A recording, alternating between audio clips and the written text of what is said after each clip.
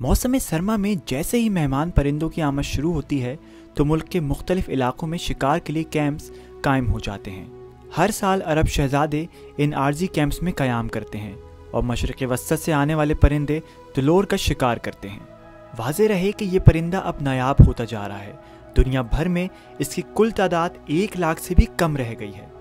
रवा साल हुकूमत सिंध ने अरब शहजादों को शिकार की इजाज़त देने के हवाले से एक कानून मुरतब किया जिसकी रूह से कोई भी शहजादा एक लाख डॉलर के हवस दस दिनों के अंदर सिर्फ़ बास के ज़रिए एक सौ तलोर का शिकार कर सकता है।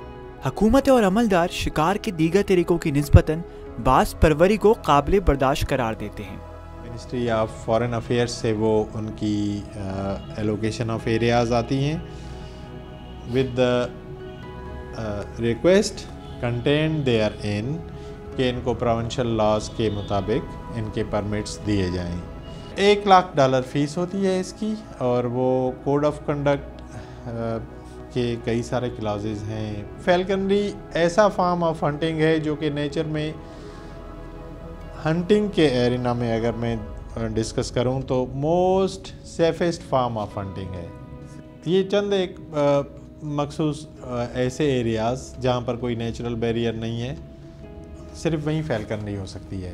बास परवरी के शौकीन अफराद का कहना है कि इसके ज़रिए जंगली हयात के तहफ़ के साथ साथ सदियों पुराने खेल को भी ज़िंदा रखा जा सकता है। गन हंटिंग और फाल्कनरी को हम लोग कंपेयर नहीं कर सकते।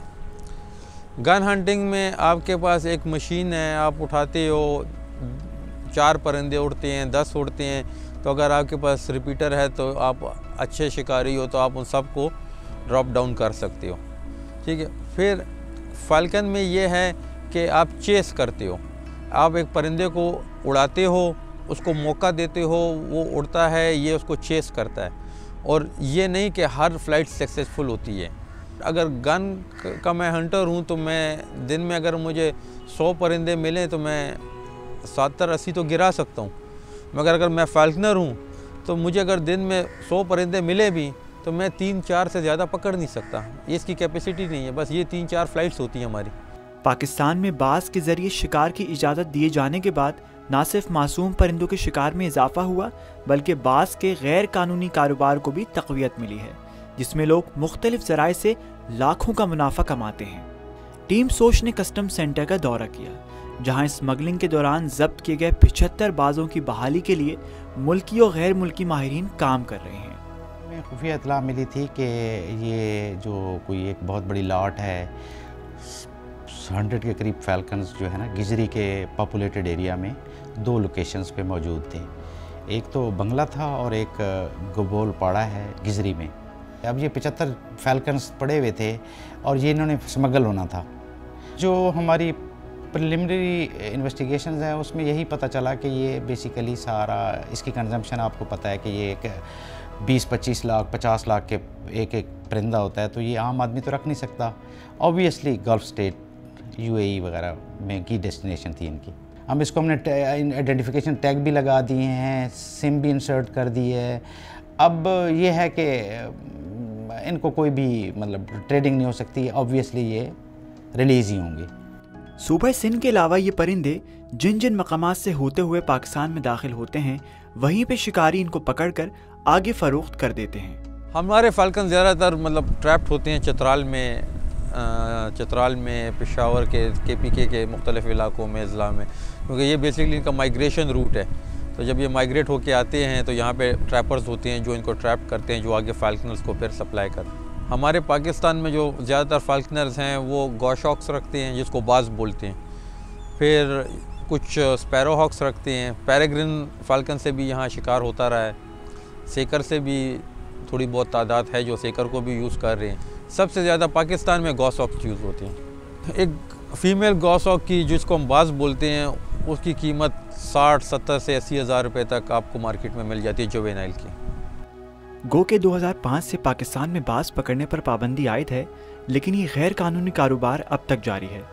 एक अंग्रेज़ी अखबार ने वजारत माहौलियात का हवाला देते हुए रिपोर्ट किया है कि साल 2019 में चार से छः हज़ार बाज पकड़े गए। हैरत की बात यह है कि बाजों की इस गैर कानूनी खरीदो फरोख्त में हकूमत या सरकारी अहदेदारों का हाथ होता है। गुजशत साल जनवरी में पाकिस्तान की वजारत खारजा ने कतरी शहजादे को 200 बाज ले जाने की इजाज़त दी, जबकि डेढ़ माह पहले दुबई के शहजादे को 150 नायाब बाज बरामद करने की मंजूरी दे दी गई।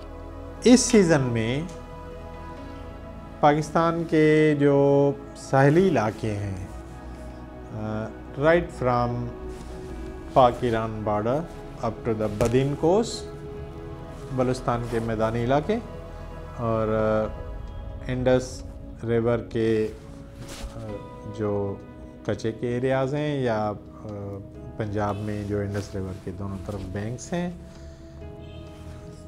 वहाँ पर ट्रैपर्स फैल्कन को पकड़ने के लिए सरगर्म हो जाते हैं। और ये एक दो नहीं, कई सौ पार्टीज़ होती हैं। लेकिन वो ट्रेडिंग बॉर्डर से बाहर के लिए नहीं। ये consumption within the country होती है और इसको ये ट्रैपिंग जो कर रहे होते हैं फैलकनरी के लिए कर रहे होते हैं। और at the end of season वो उनको उड़ा देते हैं। सिंध में वाइल्ड ट्रैपिंग्स के ऊपर last year government of Sindh ने बैन डाला था। उससे पहले ट्रैपिंग परमिट इशू होते थे। लेकिन वाइल्ड लाइफ डिपार्टमेंट ने गवर्नमेंट ऑफ़ सिंध को एक पोजीशन पुटअप की कि ये ट्रैपिंग परमिट्स बंद होने चाहिए, जिसकी वजह से ये ये लॉसेस आएँगे। बिकॉज़ ट्रैपिंग तो एक एक बहुत बड़ा लॉस है ना टुवर्ड्स बायोलॉजिकल डाइवर्सिटी या otherwise any form of life वाजे रहे कि 2015 में सुप्रीम कोर्ट ने पाकिस्तान में तिलोर के शिकार पर पाबंदी आयद कर दी थी। लेकिन उस वक्त की वफाकी और तीन सूबाई हुकूमतों ने अरब ममालिक से सफारती ताल्लुक में मुबैना खराबी के बायस पाबंदी उठाने की दरख्वास्त की। गो के इस मामले में मौजूदा वजी अजम इमरान खान ने गुजशत दौर हुकूमत पर तनकीद की थी, लेकिन उन्होंने खुद भी माजी की रवायत को बरकरार रखते हुए अरब शहजादों के लिए शिकार के दरवाजे खोल रखे हैं। आलमी इदारा बरए तहफ़ फितरत की एक रिपोर्ट के मुताबिक गुजशत पंद्रह सालों के अंदर पाकिस्तान में बास की आबादी में वाज कमी आई है, जिसका सबब बास परवरी के लिए इन परिंदों की स्मगलिंग का मुनाफा बख्श कारोबार है। हम इस शौक़ को सिर्फ़ स्मगलिंग, पैसा और वाइल्ड लाइफ के हिसाब से देख रहे हैं। तो हम लोग यही चाह रहे हैं कि स्पोर्ट्स को तहफ़ मिले। अगर इसको तहफ़ नहीं मिलेगा, ये नॉलेज ख़त्म हो जाएगा। इसके ग्राउंड बहुत मिनिमम है। आप हर जगह फैल्कन फ्लाई नहीं कर सकते हो आप अपने बर्ड फ्लाई नहीं कर सकते हो। बहुत मिनिमम जगह हैं जो यहाँ पे आप अपना ये शौक़ खेल सकते हो। तो उस वजह से ये है कि जब तक इनके लिए हंटिंग ग्राउंड्स रिज़र्व नहीं बनेंगे इनके लिए कानून में एक तरीक़ेकार लॉ हमारा आ, क्लियर नहीं होगा तो ये इसके लिए ये हमारे लिए इस शौक़ के लिए एक बहुत ख़तरनाक बात है इस time One thing that for me is dreadful. You see around me, I'm sure, in the picture, there are many falcons that have been confiscated. These were illegally trapped and they were being smuggled out. We won't guess where, it doesn't take a lot, but they were being smuggled out. But what most people don't realise, this peregrine on my fist here, any of the falcons you see behind me, they were trapped because a wild indigenous Pakistan falcon called a lugger was caught first used as live bait. So for this peregrine to sit here on my fist, an indigenous Pakistan falcon has died. This is outrageous in this day and age. Legislation should be, there is legislation that it shouldn't happen, it should be enforced.